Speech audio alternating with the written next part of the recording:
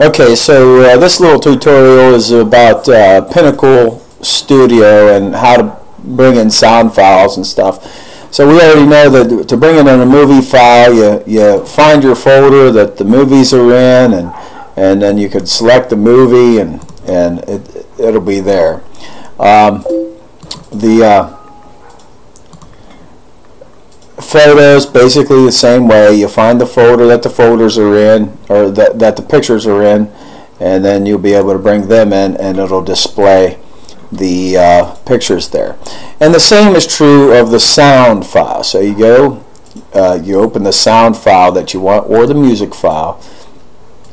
Uh, make your way to the folder wherever your folder is and we'll go to the greatest rock band of all time metaphor of course and uh, we're going to select below the fuse here. We'll add this and we'll just take and drag and we'll drop it. Eh, we'll drag and drop it on the music thing uh, on the music dial. And basically that's it. Then you're ready to go.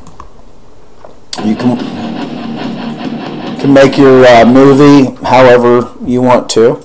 And that's a simple simple little trick in Pinnacle Studio or Avid Products